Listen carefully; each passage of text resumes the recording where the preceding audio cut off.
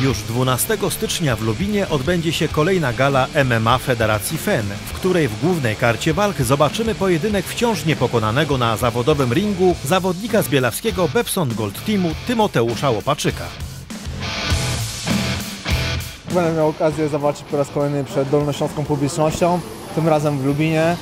Yy, walczę z Szymonem Duszą, także na pewno będą fajerwerki, będzie fajny pojedynek, także zapraszam.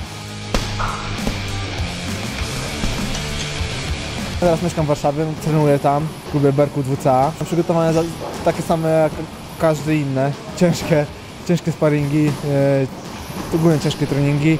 No ja daję się 100% i obiecuję, że też tyle dam siebie na walce. No chyba dużym takim plusem tych przygotowań są też osoby, z którymi masz okazję tam trenować.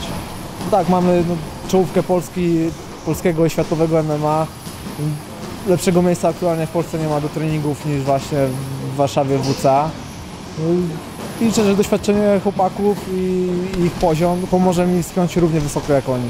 Dzięki tym e, wszystkim zawodnikom, którzy go otaczają, no ma tak naprawdę blisko wszędzie. Bo to są zawodnicy, którzy walczą w różnych federacjach, walczą w KSW, walczą w UFC, walczą w ACB.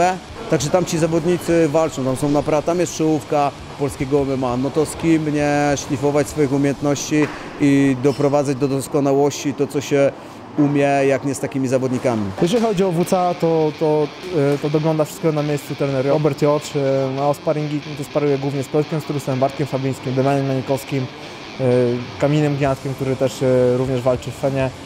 Mam mocnych sparring partnerów i, i, no i wierzę, że będę mocno przygotowany dzięki nim, bo chłopaki mega dociążają i nie odpuszczają ani kroku.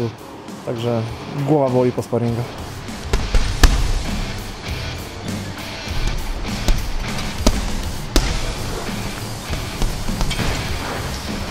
Tymoteusz jest wychowankiem Bepson Gold Team.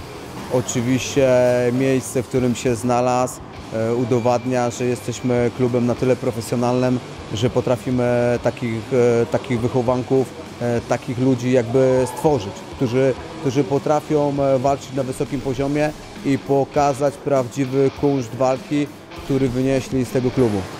Chociaż Tymek na co dzień już nie trenuje u Was, y, wpada tutaj tylko jak ma możliwość bycia w Bielawie, to chyba jako trener cały czas obserwujesz te przygotowania. Nie, no jasno, no cały czas sercem jestem z Tymkiem. No przede wszystkim, tak jak powiedziałeś, jest wychowankiem. To są lata, kiedy razem trenowaliśmy, e, razem e, też w jakiś sposób tworzyliśmy ten klub, bo to jest taki pierwszy, to jest taki pierwszy owoc tego klubu.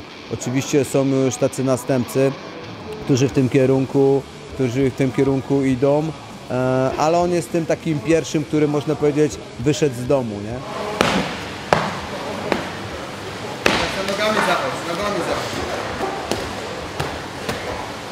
W sumie w każdej swojej walce byłem underdogiem.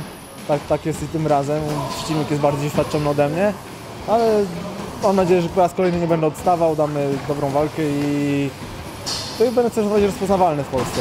Plan mniej więcej jak, y, jakiś tam jest, nie będę zdradzał jaki, y, ale no jak to w walce różne rzeczy się dzieją, także po pierwszym ciosie może plan się zmienić, jak, tak jak to też widzieliście w walce z Jackiem.